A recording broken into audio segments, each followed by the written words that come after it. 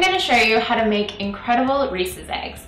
Now they're not the traditional kind of Reese's eggs where you get them at the store and they contain like 20 grams of sugar. These are the Reese's eggs that are grain-free, dairy-free, and gluten-free and only made with a touch of maple syrup. They're absolutely delicious and I can't wait for you to try them and they're especially great for Easter. Let's get started. All right, so we've got creamy natural peanut butter today. You could also use a crunchy natural peanut butter. Now, all we need is a little touch of maple syrup. I'm not kidding you, that's the only sugar in this recipe besides the chocolate, but that doesn't count. So this is to sweeten it.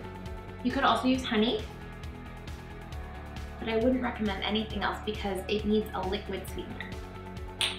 Next, we're going to add a tablespoon of coconut flour, and then we'll stir it, see what it looks like, and it might need a little bit more, and if so, we'll add it.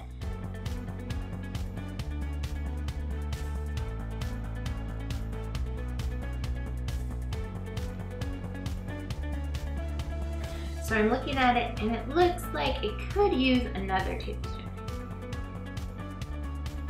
Now I'm not adding any salt to the recipe because this peanut butter is already salted, but if you use peanut butter that's not salted yet, you might want to add a pinch of sea salt. Now we're going to scoop it onto a baking sheet lined with parchment paper and we'll stick it in the freezer for 20 minutes.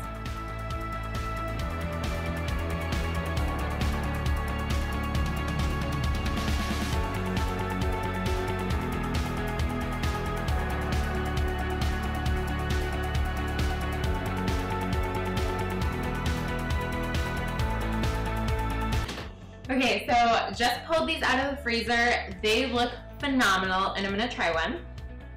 A little treat. Oh my gosh. This is crack. So good. Looks like an actual Reese's egg. Creamy peanut butter, low carb, low sugar, high protein, 5 grams. Good shitty food.